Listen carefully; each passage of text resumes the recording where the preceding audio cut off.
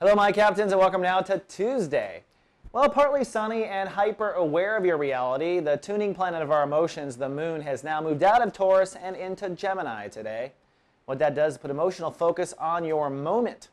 This is the sector of consciousness responsible for awareness as we understand it here in the sixth senses of reality.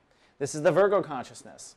And so you will be very aware of your lifestyle and your life today and this is a transit where I find some souls will like cast a dis-ease because they're emotionally kind of high strung and they haven't dealt with it. So when your emotions merge with your awareness, you can actually let that hemorrhage into other areas and your consciousness kind of co-affects your consciousness.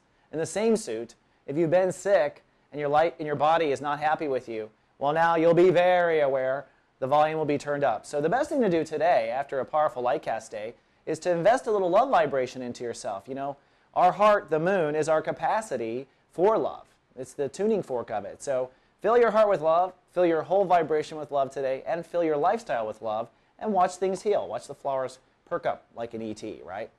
Now, yesterday was Lightcast Day, and today we follow suit with that energy. Sun in Taurus, trying to get Capricorns closer to their inner child, closer to their dreams, closer to their soul contract here on the earth. Yesterday was a big pulse of energy going out. Today, the Sun logs in to Neptune. Now, Neptune is the tuning planet really of our higher self. It is the tuning planet of Pisces. So when the Sun and Neptune come together, we're kind of forced to log into our board of spirits up there and hopefully download.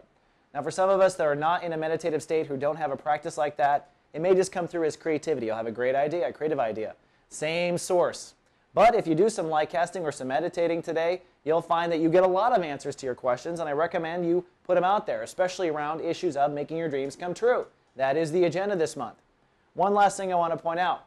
The moon today will be also crossing over Mercury in the sector of lifestyle consciousness and squaring Saturn, which means you might have some fears bubble up between good health and a happy lifestyle and your overall religion or philosophies of life at large. Potential conflict between philosophy and lifestyle.